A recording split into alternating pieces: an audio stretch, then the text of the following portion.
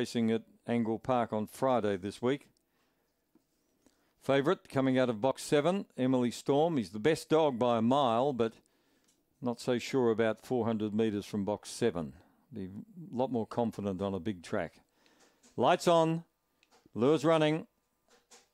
Get set. They're off.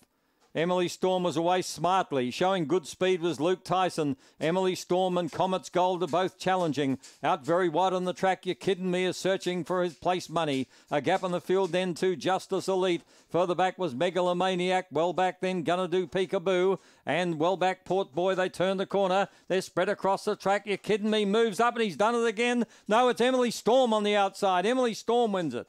Emily Storm from Luke Tyson. Uh, you kidding me was back with Comet's Gold, and they're followed further back on the field then by not far away, Gonna Do Peekaboo, Justice Elite. Luke Tyson was in that bunch, ran second actually, and one of the last to finish in the event, Megalomaniac. 7148, Emily Storm, just ranged alongside the last little bit and got the upper hand. Second to one, Luke Tyson. Third to four, Comet's Gold. And fourth, eight, you're kidding me. 23 10. 7148. He was well away, Emily Storm. He was well placed all the way.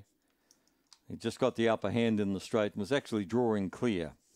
Seven, Emily Storm is a brindle dog by Nolan from Emily Charmer. Raced and trained by Judy Hurley.